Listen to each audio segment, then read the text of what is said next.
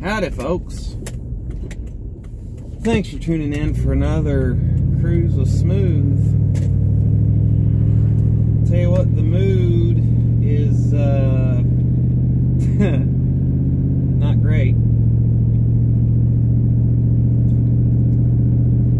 Before I get into it, uh, again, I want to thank y'all for tuning in. Don't forget to like, share, comment, subscribe, and notification bell if you want to know when new stuff goes up.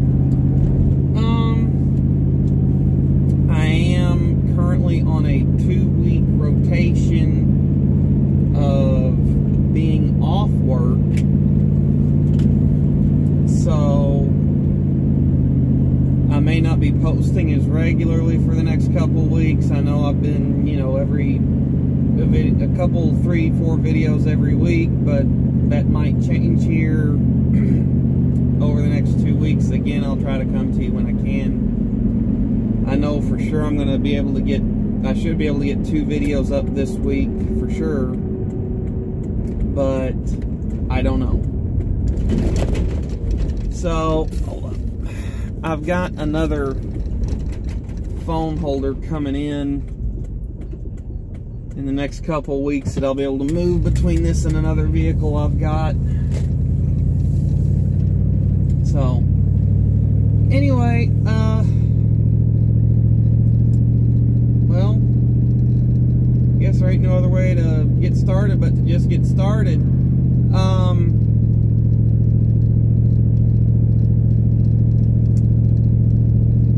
the protests, the riots, the looting, that's what's on everybody's mind now. Nobody's talking about coronavirus. And there's a lot of angles and facets to all this. I've I've stayed fairly up to speed on all this, reading articles as they come out, um, trying to to be as informed as I can about all this. And I've got an official take on it. Okay, I forget the gentleman's name. I'm terrible with names. You'll have to forgive me. But the gentleman that died in Minneapolis, Minnesota, at the hands of law enforcement with a knee to the back of the neck while he's on the ground. Okay, here's my official take on it. law enforcement need to use the minimum amount of force necessary to control the situation. Period. Now, that might be a lot of force in certain situations. If someone draws a gun and is ready to fire, that could be lethal force in certain situations. But in some situations, it might be simply, sir, please get out of the car, or please take the breathalyzer, you know, whatever the situation is, it could be something very simple. Now, I can't confirm all of this. I can confirm about 90% of what I'm about to say with absolute certainty. and then I'll get into some opinion. The gentleman in question that died um, was attempting to pass off a counterfeit $20 bill, I believe. Or he was attempting to uh, forge a signature on a check. I've heard conflicting reports on that. I'm not positive. Okay. Someone called the police. The police show up. The dude cooperates. The police get him in handcuffs without a fight. Where stories differ a touch is that he was either A, cooperating the whole time, or B, once he was in cuffs, he was starting to resist the idea of being put in a cop car. Okay, I, frankly, if you're going to resist, I don't see the point in doing it once you're in cuffs. The cops have way more control over the situation at that point. I don't know, though. But, if he was resisting arrest at that point, I can understand the cop getting him into a controlled position position where the cop's not going to have to apply force and he can just let the guy sit there. Like, okay, if he would have got him face down, cuffed behind his back, unless that guy is in the top 1% of physical fitness or flexibility, that guy ain't getting up on his own. And even if he was, all the cop's going to have to do is stand and put one foot right above his butt. And he, that guy ain't getting up. so, I don't. So, even if the guy was resisting arrest and he wanted to put him down there so that everybody could calm down a little bit, maybe get another cop over there to help get him into the car, that's all that would have been necessary in that situation my opinion on that cop, Mr. Chauvin, if I'm saying his name right, he is a sadist. He's got a long history of abusing his authority and uh, acts of police brutality. So I am not on his side very much through all this. So I I tend to to side with the victim in all this, even though it, he died tragically. I think that no crime that was alleged that day, you know, trying to pass off a counterfeit 20, uh, uh, forged check, or resisting arrest, it didn't deserve death, and it definitely didn't deserve it that way. So that's where I come down on all this. Now,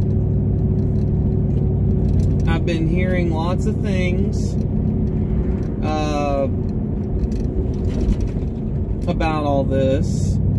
Um, a buddy of mine is very much a, well, coworker, is very much a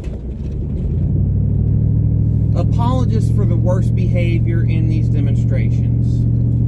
He has made excuses for the Target that got looted and destroyed. He's made excuses for the AutoZone that got burned down. He's made excuses for the businesses. Uh, saying things basically that um, all that stuff is insured. Are you valuing that more than one man's life? And there's a Venn diagram that I saw the other day where I can say that his murder is wrong, the police, they're good cops, and I'm and I'm anti-riot. All at the same time. I'm right in the center of all that.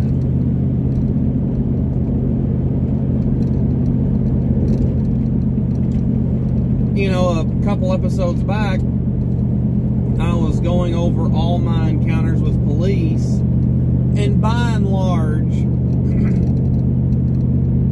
I've dealt with more good cops than bad cops, and that's and that's counting the the incidences where I was in the wrong due to my right foot. That's not counting incidences where um, I called the police for a reason, or I dealt with cops at a DUI checkpoint, or I dealt with police at a an event. Uh, dealt there was a cop that I used to know that was a bouncer at a bar I used to frequent, things like that.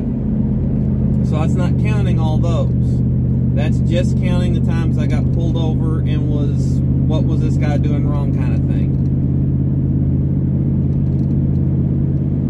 So,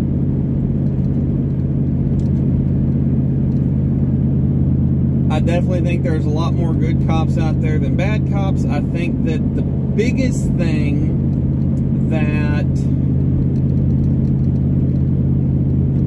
has hurt law enforcement's credibility in recent years would be police unions.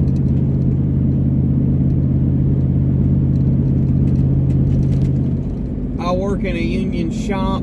I know how hard it is to get into serious disciplinary trouble there. You kind of got to be trying. So if public sector unions or anything like that, I don't particularly think that even if this cop is a is a genuinely bad that if a cop is genuinely a bad cop, I don't think it's going to be easy for them to get into trouble, get true disciplinary measures taken from them or taken against them because paid absence during an investigation that's not discipline that's them getting the cop out of the limelight but a paid disciplinary leave that's a joke. That is a paid that is an unscheduled paid vacation. That is what that is. So i would blame police unions for a lot of that because if you end up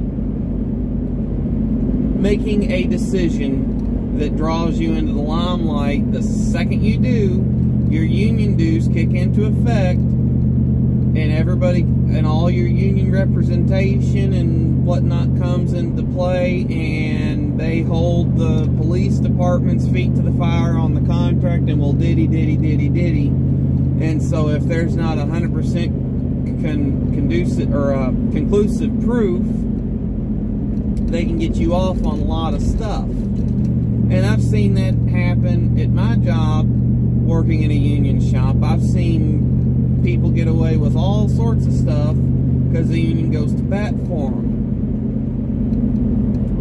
Not saying that unions are all bad, but I don't particularly like public sector unions because you're paying taxes for a public good that is corrupted by union officials.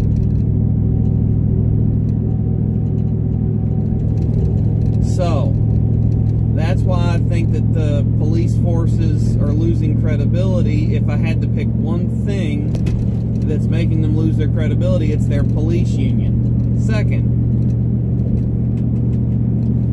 there was another protest in my city. There was a, I, not in my city, in my state. Um, I live quite a ways away from here, from there. I believe the woman's name is Breonna Taylor Louisville, Kentucky. She, uh,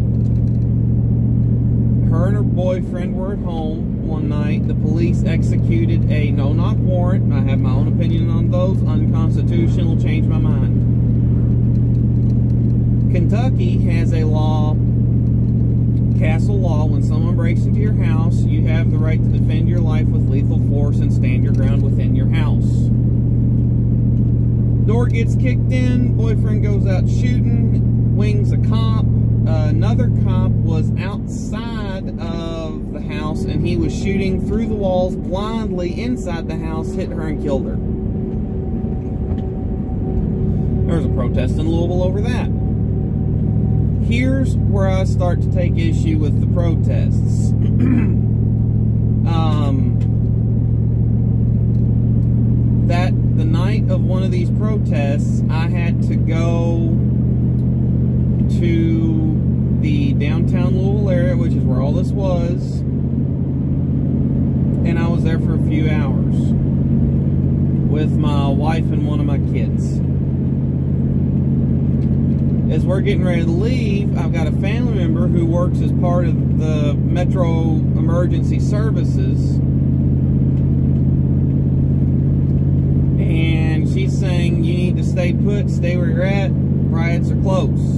Okay. So we're a little concerned when we're getting ready to leave. And we end up, there was a police officer right there who was wearing his radio and very up to speed. There was news on the protesters were trying to overturn an ambulance on live TV. And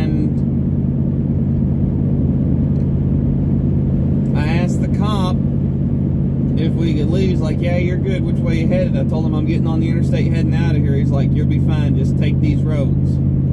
But I was still